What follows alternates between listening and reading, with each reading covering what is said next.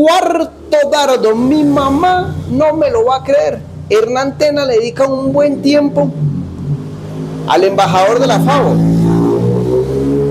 al otro mentiroso del pacto histórico, pacto diabólico o socio de Petro, Benedetti Armando, porque la verdad debería de estar en la cárcel, porque es que, ole, ¿dónde están las, las feministas de este país? O los feministas.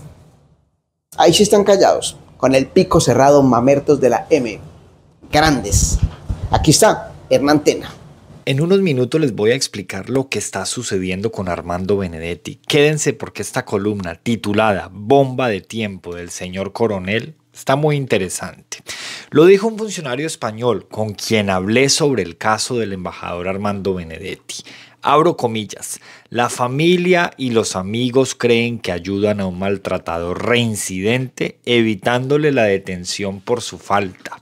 Es un error terrible, terrible, perdón, cada alto que se salta un abusador lo acerca a la muerte o a convertirse en asesino. Un hombre que golpea sin que nada le pase termina siendo una bomba de tiempo para él mismo y para la sociedad. Y es que aquí lo sorprendente es que este hombre golpee una, dos, tres, cuatro veces y en efecto nada le pase, pero además se evidencie el pacto del silencio que hay entre él y el petrismo, porque ni siquiera las activistas, amigas de Gustavo Petro, que a otra hora salían a rechazar cualquier acto de violencia en contra de una mujer, hoy han dicho algo, ni María José Pizarro, ni Mafe Carrascal, ni ninguna de ellas. Hay un sinsabor entre personas que trabajan en casos de violencia de género en España, por lo que consideran un abuso de la figura de inmunidad diplomática por parte del gobierno colombiano. Nótese que aquí se habla del gobierno colombiano y no del señor Benedetti. Armando Benedetti no estaba en misión oficial en territorio de España. Sus credenciales solo son válidas ante la Organización de las Naciones Unidas para la Alimentación y la Agricultura FAO, con sede en Roma. Allí es embajador por controvertida decisión del presidente Gustavo Petro, quien reabrió una sede diplomática innecesaria clausurada hace nada más y nada menos que 32 años y cuyas funciones las venía cumpliendo sin queja la Embajada de Colombia en Roma. Como Italia coge la misión permanente de la FAO, hace décadas aprobó un acuerdo para reconocer y precisar la inmunidad que cobija a los embajadores y ministros plenipotenciarios acreditados ante ese organismo internacional. De acuerdo con la norma, esos funcionarios tendrán derecho dentro de la República Italiana a los mismos privilegios e inmunidades que otros diplomáticos del mismo rango. Es decir, la, la, inmunidad para un embajador ante la FAO está limitada al territorio italiano, señores. Los diplomáticos solo pueden moverse de la sede en la que cumplen su función con permiso expreso del, ministerio, del ministerio, perdón, no ministro, de Relaciones Exteriores. Benedetti tiene un amplio historial de incumplimiento de esas reglas. Cuando era embajador en Venezuela, porque recordemos que además Petro encima de todo esto lo ha puesto a pasear por el mundo. Cuando era embajador en Venezuela, pasaba largos periodos por fuera de ese país sin autorización de la Cancillería.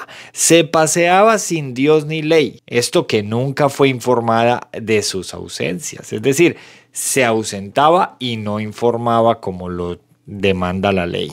No recibió ninguna sanción en Colombia. En cambio, Estados Unidos le revocó la visa porque siendo embajador en Venezuela, abusó del pasaporte diplomático, usándolo para ir a California al grado de uno de sus hijos. Es decir, aquí gobiernos ajenos tienen que poner al señor en su sitio porque a través del pacto del silencio que hay entre él y el petrismo, pues el gobierno nacional no puede hacerlo. ¿Qué esconde Gustavo Petro, señores? ¿Por qué es tan bravucón para hablarle a algunos, pero tan sumiso para hablarle a otros, como a este o como al señor Maduro? Retomemos la lectura. De acuerdo con una fuente del Ministerio de Relaciones Exteriores de Colombia, esta vez Benedetti sí había solicitado permiso para ir a Madrid, España, con el propósito de acompañar a su esposa Adelina Guerrero, quien debía practicarse una delicada cirugía de oído.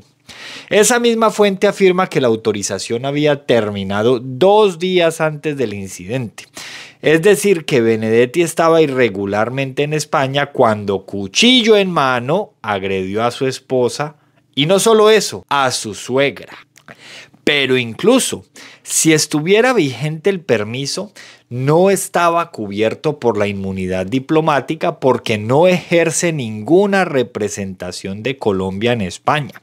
La inmunidad no es una atribución personal, sino una concesión del país anfitrión.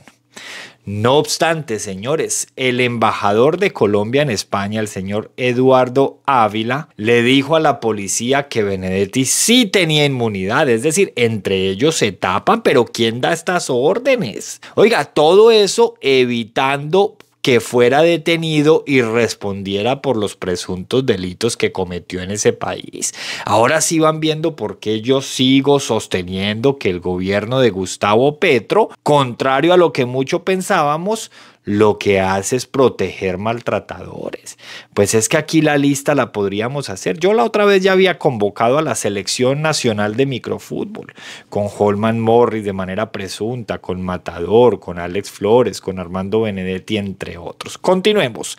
De acuerdo con documentos que obran en la comisaría de policía del distrito de Madrid Centro, el embajador Armando Benedetti blandiendo un cuchillo de 25 centímetros, amenazó a su suegra y a su esposa mientras las insultaba con palabras viles que no es necesario repetir. Pero ya todos escuchamos algo parecido, las mismas palabras que usó en contra de ellas seguramente eran las que había usado en contra de Laura Sarabia.